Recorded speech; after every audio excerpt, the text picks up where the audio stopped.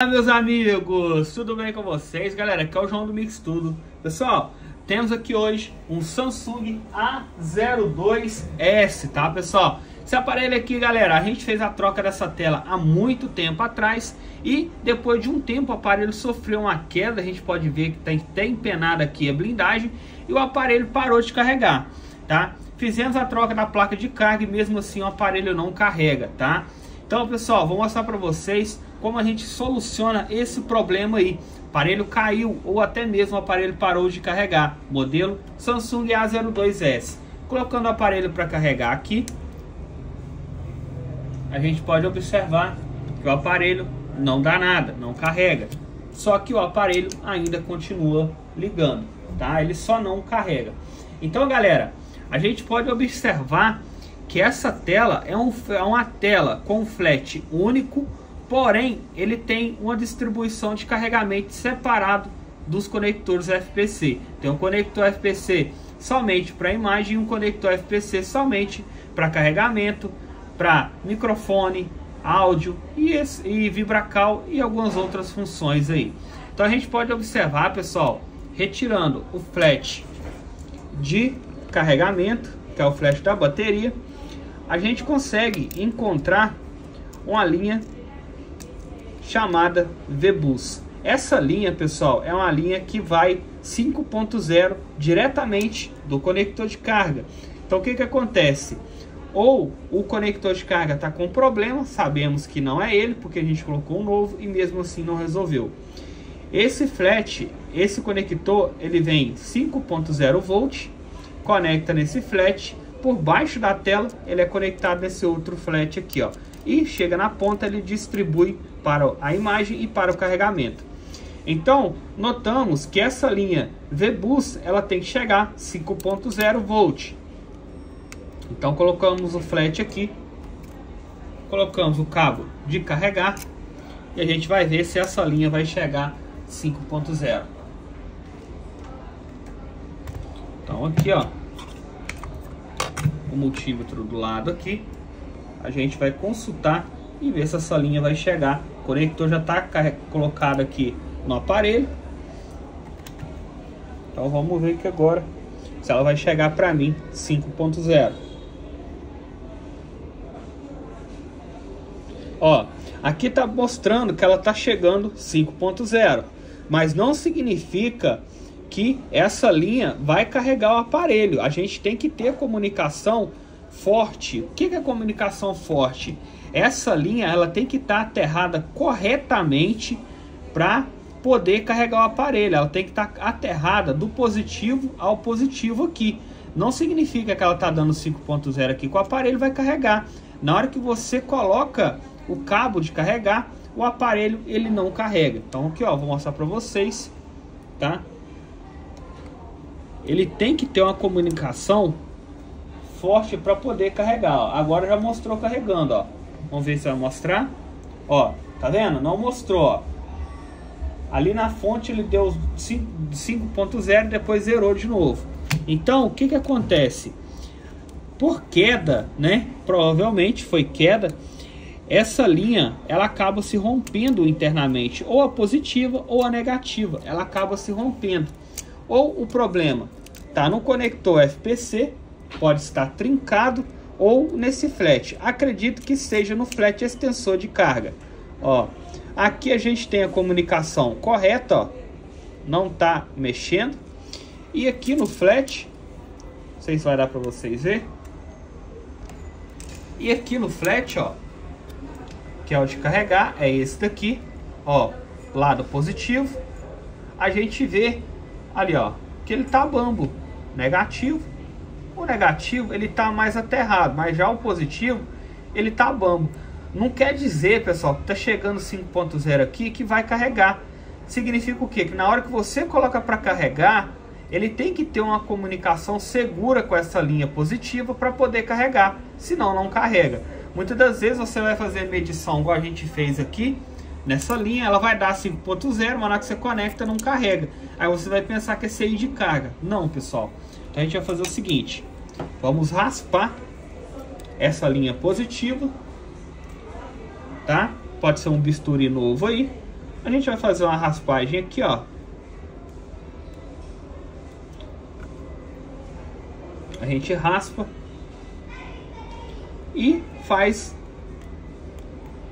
a, inter, a, a ligação aqui dessa linha para o aparelho poder ter um, uma solda bem firme dessa linha. Você tendo essa solda firme aqui, é quase impossível esse aparelho não carregar, tá? Beleza? Então a gente vira. E agora a gente vai pingar um ponto de solda aí. Ó, tá vendo aqui, gente? Ó, bem no cantinho. Eu gosto de gravar no microscópio que fica muito melhor para vocês verem, tá? Mas como é um videozinho breve aí, mais explicativo, então isso aqui vai dar para vocês pegar a charada aqui fácil, fácil. Então, ó, meu ferro de solda já tem solda na ponta. Ele tava fazendo a CPU, então tá com um pouco de uma sujeirinha aqui. Aí, ó. Perfeito, ó. Ótimo. Ótimo. E o que, que a gente vai fazer? Do outro lado também, a gente vai passar a solda. Desse outro lado aqui também a gente vai ter que colocar um pouco de solda aqui, né? Só para reforçar aqui essa comunicação aí da linha positiva.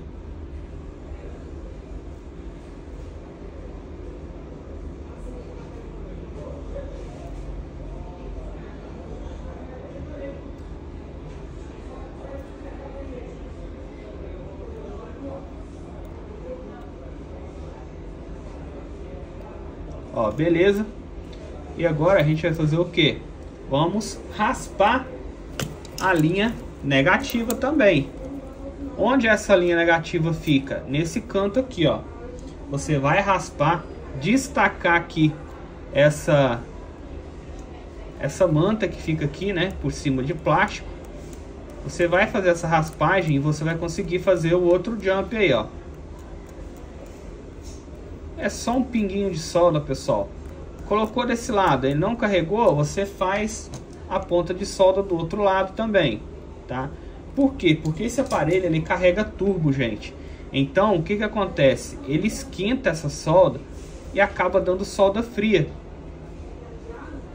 Por isso que ele para de carregar.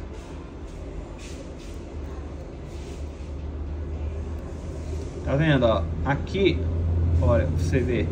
Tem que ser bem pertinho, porque senão a solda não pega. Bem pertinho do conector mesmo, ó. Então vai ter que destacar mais um pedacinho aqui, ó. Para essa trilha conseguir chegar no conector. Beleza. Vamos ver aqui agora.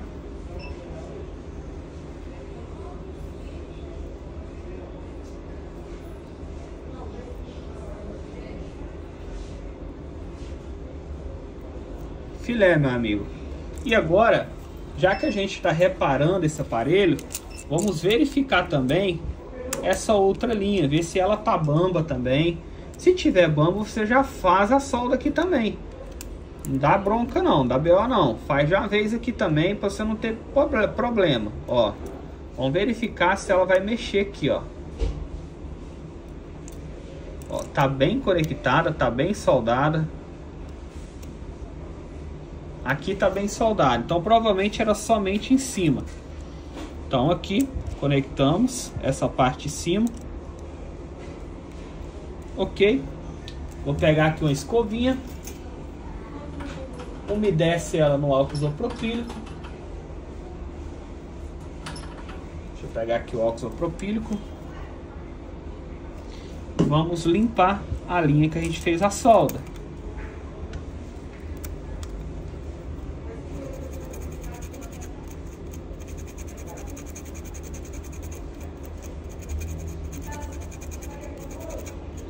Ótimo. E agora vocês vão fazer o seguinte, conecta.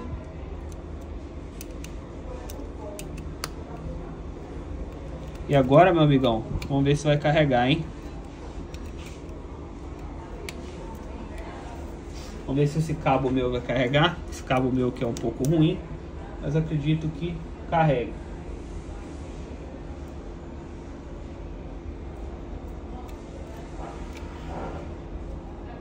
resolver. Deixa eu pegar o outro cabo, vou virar aqui. Vamos pegar aqui o outro cabo.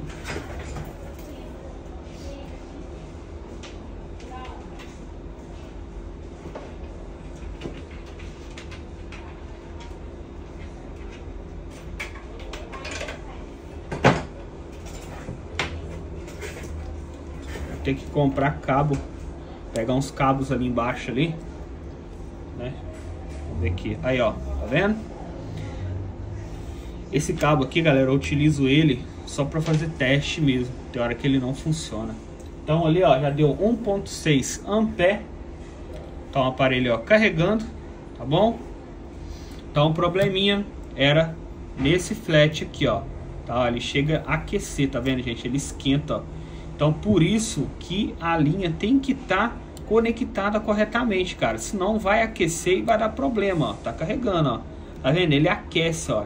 Então o que, acontece? Quando ele aquece, essa linha, se ela tiver com a solda bem ruim, ela vai parar de carregar, galera. Tá vendo? Aí você pega, testa aqui, deu 5.0, aparelho, ah, tá vindo tensão aqui, então não é o flat. Mas não, galera. Geralmente ele dá 5.0, porém te faz errar aí na bancada, tá? Ó, tá carregando. 1.6 ali a 9 volts, tá vendo? Então tem que tomar cuidado aí, né, gente? A bancada ela engana a gente demais, beleza? Então é isso aí, galera. Espero que tenham gostado desse vídeo. Se inscreve no nosso canal, deixa seu like, compartilha, que é muito importante. Valeu? Tamo junto, galera. Fiquem com Deus e até o próximo vídeo.